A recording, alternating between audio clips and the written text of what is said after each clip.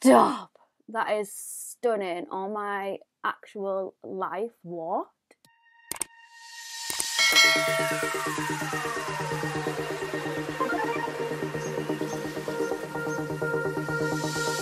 Hello, you beautiful people. Hello, welcome back to my channel. I'm Lucy Stephenson, but you can call me Luce because we're all friends here. If you are new here, please don't forget to hit subscribe, give this video a thumbs up because it really helps out my channel and turn that notification bell on so you don't miss any bonus videos like what today's is. So I do normally upload on Mondays, Wednesdays and Fridays, but today I'm doing a little trilogy. It started yesterday and this is going to be a little bonus video just so we can get all these videos up straight away for you. So if you watched yesterday's video, I tested the Crystal Aura Rose Quartz collection. It featured the beautiful Forever Flawless palette, the setting spray and the lip oil which both have like crystals inside them which is just stunning. So if you want to see yesterday's look and see what I thought of the palettes, then I will leave that linked down below. As you can tell by the thumbnail and title, today we're going to be testing the amethyst part of this collection. So there's three different parts, obviously rose quartz, amethyst, and then aventurine, which is like green. So that'll be tomorrow's video. So make sure that notification bell is turned on so you don't miss tomorrow's video and you get to see it as soon as it goes live. But like I said, today we're going to be testing this, which is to be fair, out of the three, the this palette in particular is the one that excites me the most. I cannot wait to get stuck in. So this is what it looks like. This is the Amethyst Forever Flawless palette and I'm sorry, absolutely stunning. And I do have a 20% off discount code for Revolution's website. It's not affiliate, but it's LUCE20 if you want to save any money off their website. It is now worldwide, which is so exciting so anyone can use it. But the palette retails for $11.99 the setting spray retails for $7.99 and then the lip oil is $4.99. So it says that amethyst is meant to be the crystal that shields against negativity. It's meant to help with stress relief and bring good luck. So if you are somebody who's really into crystals, it's kind of having that combination of like a crystal crystal inspired makeup collection. So the palette itself is inspired by like the colour story and then obviously the setting spray and the lip oil has actual crystals inside, which is so pretty cool. I'm going to take some of the Revolution Creator Super Base Eye Primer. I absolutely love this. Like, if you've watched my videos, you've noticed I actually reach for this now more than my P. Louise base, which is insane when you think about it. So I'm going to start with the shade Stability first. I don't want to start with this one. No, I'm going to start with Inspire first. And I'm going to go with like a short stubby brush for this. This is a Spectrum A13 brush and I'm going to go in with that darkest shade. Do you think about my eyeballs? No matter what primer I use, I always have to tap them out before I go in because it just creases. Even when I use a sponge, like it nowhere near as creases as normal, but everything still always creases. And I'm just kind of concentrating that really in this outer bit and then across the lid, just like so. And then I'm going to go in with the Girls with Attitude brush, which looks like this.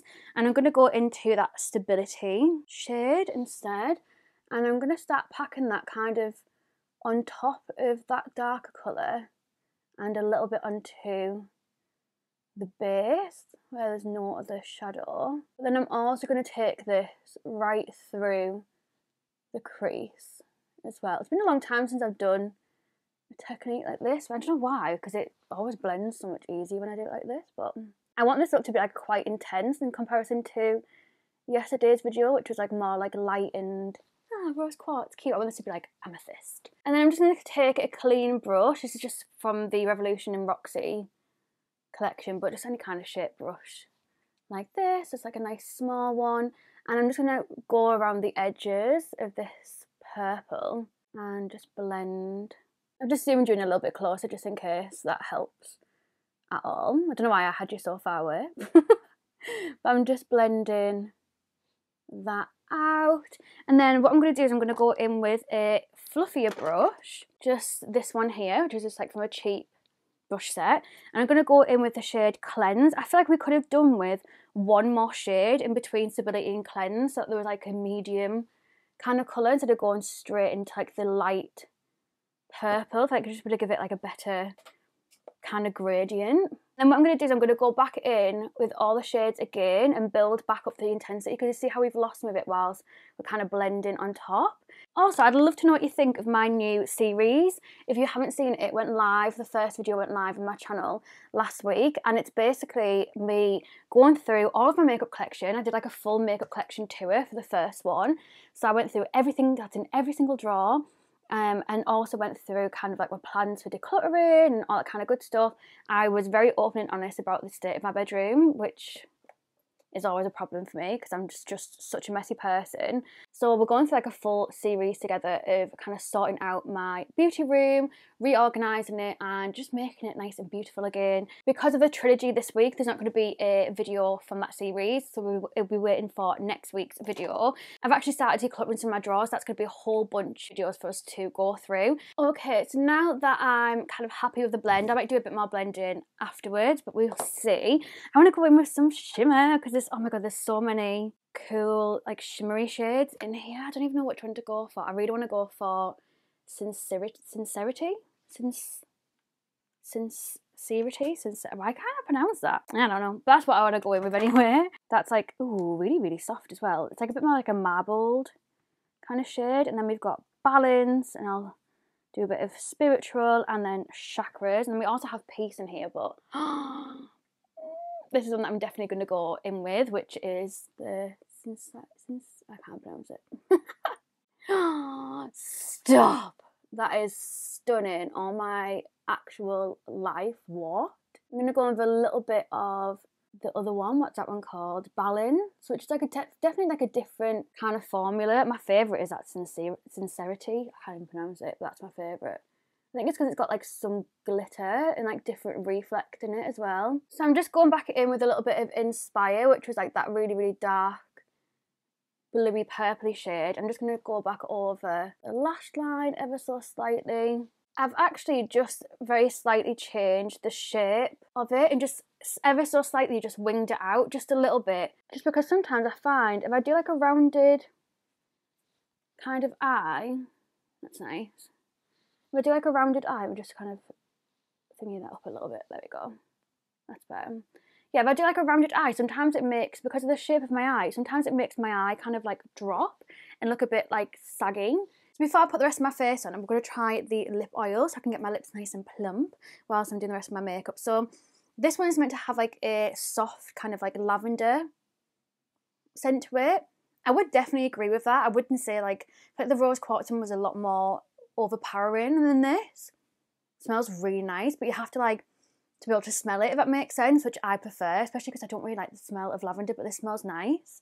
And then let's pop some, okay, more comes out straight away on this one in comparison to the rose quartz one, which is really good. Like this one's like a lot more glossy than the other one as well. Okay, this so far out of the two that I've tried, this is definitely my favourite. If you aren't one for like really scented things, like overpowering, like I can't really smell this now that it's on, whereas the rose quartz one like lingered for quite a bit. So yeah, so far, really, really, really nice. And I was just reading the description just to give you a bit of information about the lip oil and the setting spray. So it says the lip oil is also infused with hyaluronic acid, which obviously is really good you have like dry, dehydrated lips. So if you just want plump lips, it's really good for that. It also has raspberry seed oil in it as well, which is designed to nourish and condition your lips with a clear high shine formula, which makes sense because when you put it on, it was like super, super shiny. Um, it also obviously has the purple crystals inside and a relaxing lavender aroma, which I really, really like. Then we have obviously the setting spray. So it says set and refresh with this illuminating fixing spray, which is infused with real crystals containing another hyaluronic acid to hydrate the skin with a calming lavender scent. So let's see what this is like because it says illuminating. So this is what my skin looks like before. So let's see whether it is illuminating. Okay, it has like a very, very, very subtle lavender scent again, if you are somebody who's not massively into scent, I do feel like this is going to be the best one out of the two from like the rose quartz one yesterday. Um, but we'll see what the Aventurine one like is like tomorrow. That one's meant to be like cucumber scented, so that would probably be like nice and refreshing. So I think if you're not really into like lavender, rose quartz, then Aventurine. I don't know if you say that, but that'll be the best one for you because it's meant to be like a cucumber scent. But we'll have a sniff of that tomorrow in tomorrow's video and see what the vibe is. So this is my skin. Oh yeah, it has given illuminated. Look to it. Wow. If I could just give me like a bit of, I don't know, like life and plumpness back into my skin. I think if you are somebody with really, really oily skin, you may not like this. Um, it depends. I don't know because sometimes, obviously, I have oily skin, but sometimes because I put so much powder on, I need that on to keep me in place. But then it's also nice to go in with something as like a setting spray for afterwards to add that plumpness back in without me looking so flat. But we're still having all that powder on to keep everything in place. I think Kylie, if you're watching this, you're gonna absolutely love it. I feel like it's kind of like give me dewiness, but it has given me a little bit in the middle of my forehead, but everywhere else that it's given me like extra dewiness is actually where I put highlighter. So I think if you are somebody who is kind of combination oily skin like me, that's something to bear in mind. It actually seems to really illuminate the areas that you already had highlighted, which is so clever. And it could just be that it makes it more illuminated because it already has like a shiny base from the highlighter on it, but it shows that you can actually have the best of both worlds with this. And I just love the fact that it's not got an overpowering smell. Although the rose quartz setting spray wasn't um, overpowering yesterday, that was kind of a soft smell. It was lip oil that was quite overpowering. But yeah, really, really impressed by that. So for my lip, I'm just take off the remainder of this lip oil. I'm going to go in with the P. Louise Loyal lip liner, which is like a dark, kind of chocolatey kind of colour. I personally don't really like kind of twisty up lip liners as much as what I like pencil ones because I feel like they're just a bit harder to get a sharper line, but mm, it still looks nice. It just takes a little bit longer. And what I will say, ignore this, I'm to put lipstick on in a second. What I will say is, well, if you've got like a little bit of a tash, like a little, a little bit of fuzz, it's even harder to get a sharper line because it, it doesn't half humble you when you start putting it on. You're like, oh, it's uh, not as smooth as what it can be because of my little mustache. but anyways, I'm going to go in with a lipstick. This is the Cookie Dough lipstick, like one of their chocolate lipsticks from I Heart Revolution. I never really reach this that often. I thought I'd give it a go. Oh my god, so I wasn't expecting to be as dark as this. Definitely put too much lip liner on, but I'm still feeling it. Yeah, I'm really, really feeling it. It's giving me like purple Kim Kim Possible vibes, but I really like it. Such a vibe. Such a vibe. Okay, but I want to gloss it up, so I'm going to use the roller baller, but obviously I don't want to make this all icky, so I'm going to actually put some on the back of my hand. Okay, it's actually a lot harder to do this I thought it was going to be. Like getting it on the back of my hand, I mean. I'm just going to put it on and just say YOLO. It's actually really nice, and because it hasn't moved too much, it hasn't like completely ruined the inside. I'm just going to kind of wipe it. Yeah, cleaned it. Buzzing. so yeah, that is the finished look.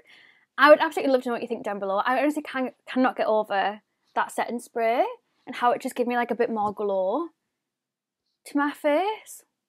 Wow, okay, let's do a little quick product roundup. So as for the actual palette, I honestly think it's the best one out of all three of them. Um, maybe because I'm an absolute sucker for purple. I love it so much. But yeah, I think this is absolutely stunning. You know, I love Forever Flawless palette anyway. I have a full Forever Flawless palette drawer. Um, I'll leave it linked down below if you want to see all my Forever Flawless palettes in my full collection. Um, if you are just nosy of my whole makeup collection in general, I did do a video last week showing my full makeup collection starting a new series of starting out my beauty room with me. So I'll leave that link down below as well. But yeah, um, as for the setting spray as well, I loved this so much. I love the little bit of glow that it gave my skin. I just think it's stunning. And the lip oil is beautiful. I think it's so much nicer than the rose quartz one absolutely love this collection. Um, definitely my favourite out of the two so far.